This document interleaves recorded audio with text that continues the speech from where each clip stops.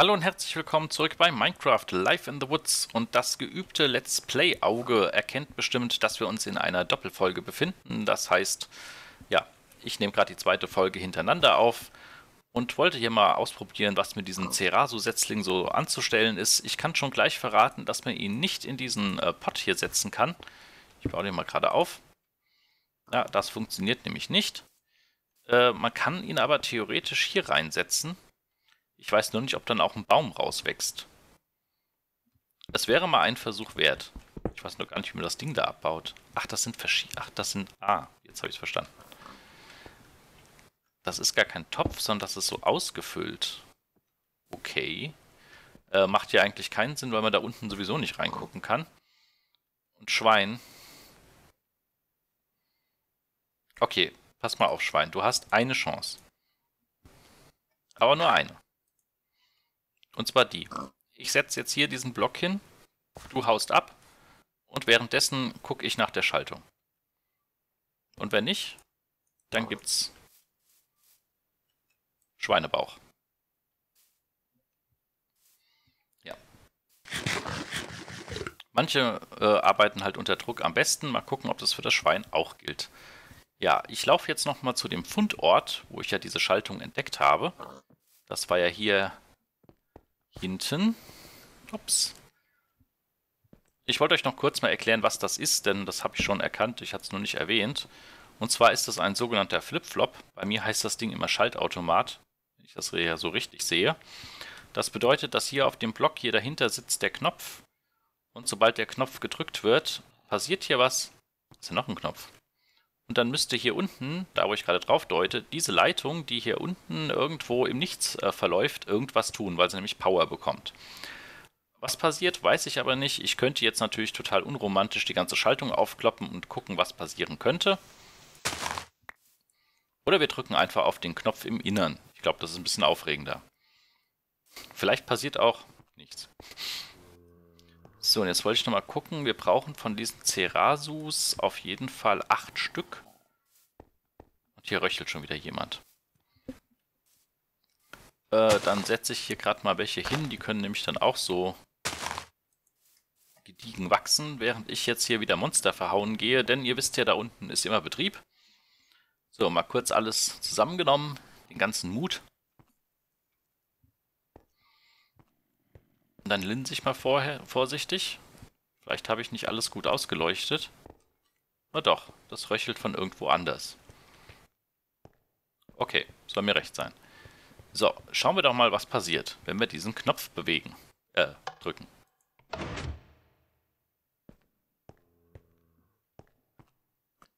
So, es hat sich was getan. Nur was?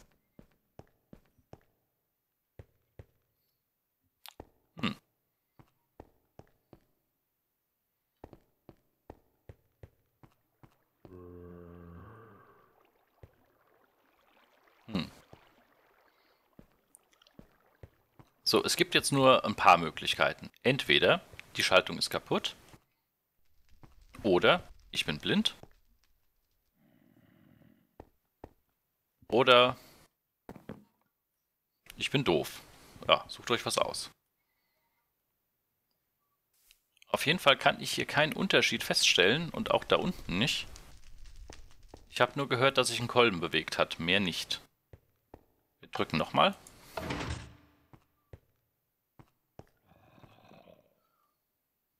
Und es röchelt. Also irgendwas passiert, ich weiß nur wirklich nicht was. Es wäre jetzt aber sehr peinlich, wenn ihr es seht und ich nicht. Verdammt. Okay, also müssen wir jetzt die Option wählen, die ich schon mal angedroht hatte. Ich muss gucken, was diese Schaltung macht. Und ich habe keine Spitzhacke dabei. Das ist natürlich sehr schlau.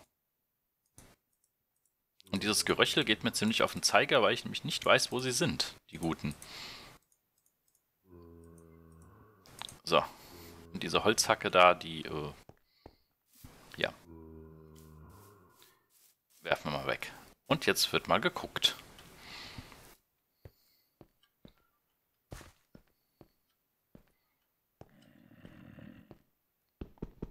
Also hier ist jetzt Saft drauf. Ich hatte jetzt den Schalter nochmal ausgeschaltet und wieder eingeschaltet. Und die Leitung läuft nach da hinten.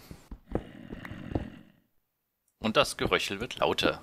Ich vermute mal, dass hier irgendwo ein Haken ist. Nein, dass hier irgendwo noch äh, Monster sind. Hier ist auch ein bisschen dunkel. Und mit der Fackel kann man nicht abbauen.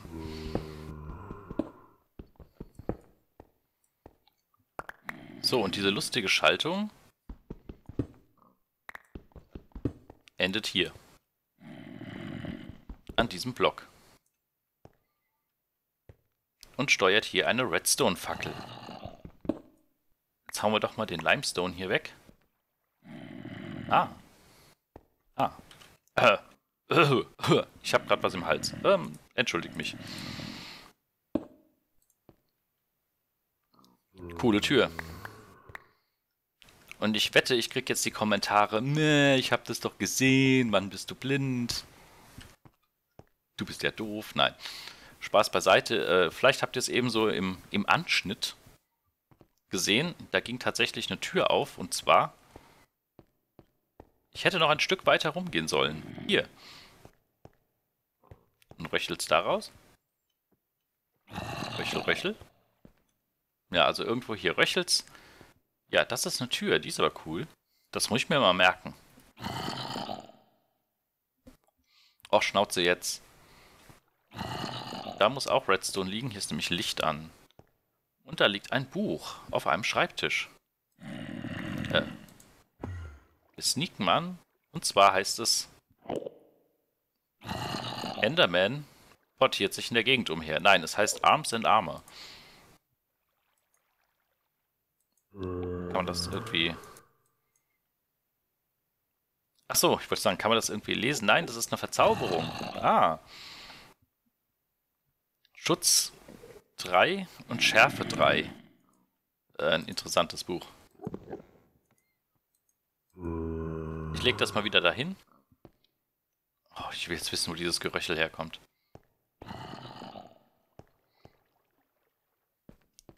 Naja, vielleicht auch nicht unbedingt jetzt, aber auf jeden Fall, ich lasse die Tür mal auf und jetzt wissen wir auch, was dieser Schalter macht.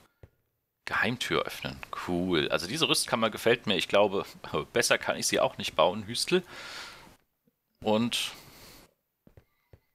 was macht denn eigentlich das Schwein? Seht ihr, man muss nur reden.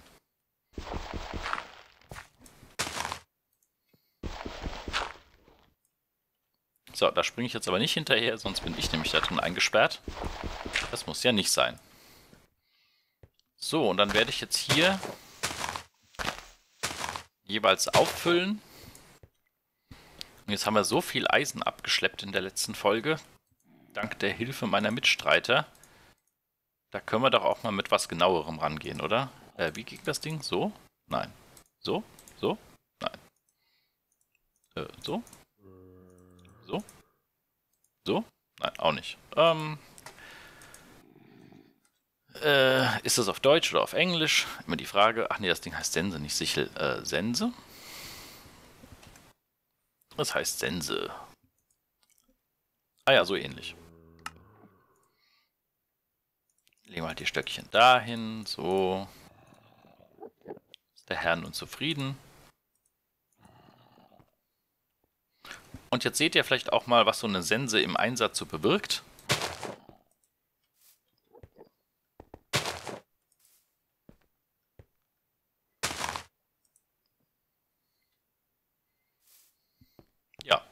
Tolga, falls ihr die noch nicht kennt.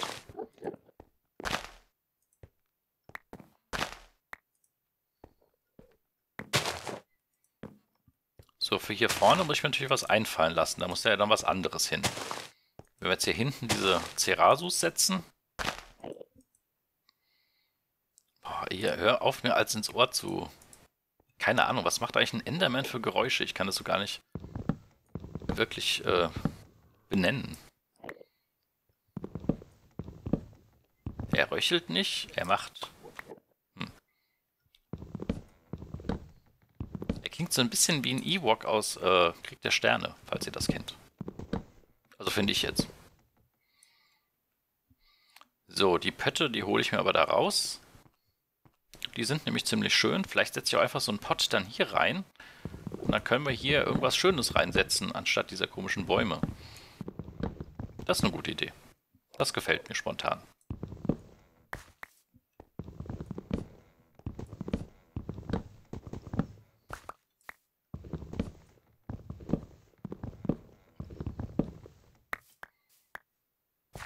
Irgendwie habe ich das Gefühl, als würde der Mond aufgehen.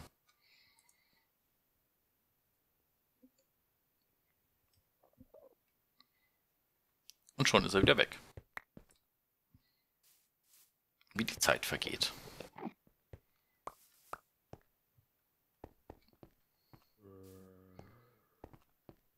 Hier ist echt ganz schön Betrieb. Ich weiß gar nicht, ob ihr das überhaupt so mitkriegt, was hier rumgeröchelt wird.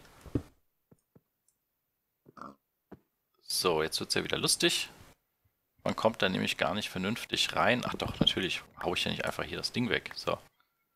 So, Ceraso in die Mitte. Okay, das fällt jetzt gar nicht auf, oder? Dass hier die Quadel fehlt. Hm. Naja. So, und dann hatte ich mir gedacht, stellen wir diese Töpfchen da rein. So, eins davor. Da können wir schon mal gucken, was wir da für Blümchen reinsetzen können. Haben wir hier schöne Blümchen in der Gegend? Ich habe die Schnauze voll von dir. Okay. Möchtest ein Spiel spielen? Dann spielen wir ein Spiel. Also ich wollte ja Blümchen suchen. Und natürlich sind hier jetzt keine hübschen Blümchen. Es war ja so klar. Ich hätte mir doch welche von zu Hause mitnehmen sollen. Doch, da oben sind Blümchen. Die sind sogar ganz hübsch. Ja.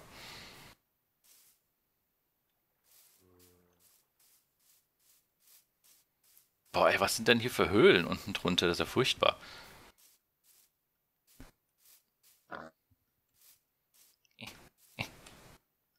Komm, hoch mit, hoch, hoch mit dir. So, ich hoffe, das sind Blümchen aus dem Plant Mega Pack. Wahrscheinlich nicht, aber ja, gucken. Doch, australisches Gänseblümchen. In zwei Farben.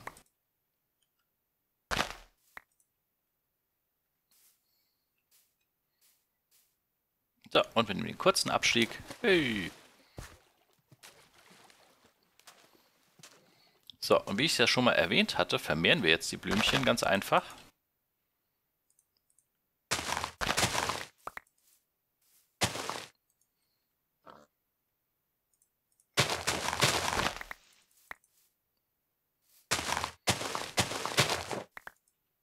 Ja, vielleicht doch nicht so einfach. Ah, doch jetzt. Ja, wenn es einmal läuft, dann läuft's, ne? So. Könnt ihr auch gerne mal zu Hause probieren. Immer wieder setzen, abreißen, setzen, abreißen. So. Und schon haben wir Blümchen. Ja, das geht hier schnell. So, kann man die da reinsetzen? Nein, natürlich nicht. Warum nicht? Ach, der ist nur dekorativ. Anklicken kann man ihn auch nicht. Da kann man gar keine Blümchen reinsetzen. Was ist das für ein komischer Blumentopf? Decorative Flower Pot. Garden Container. Kann ich ihn ansneaken? Ja, das ist auch hübsch.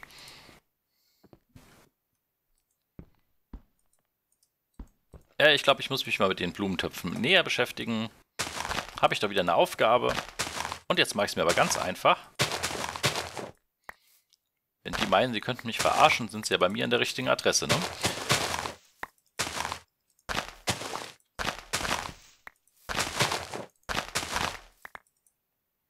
Ich weiß, das ist jetzt unglaublich dämlich, was ich da mache, aber...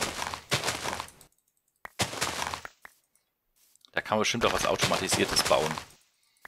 Eine Blumengewinnungsanlage. Ah, ich habe schon wieder Ideen. Das ist gut. So, was haltet ihr denn von der Variante? Dann mache ich das gleiche jetzt auch noch auf der Seite, dann in blau.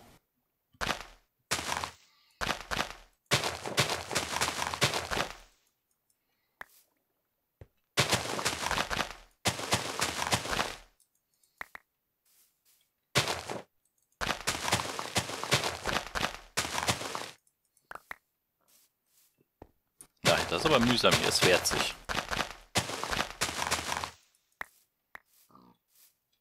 War ich ja vorhin erfolgreicher? Vermehr dich! Ah.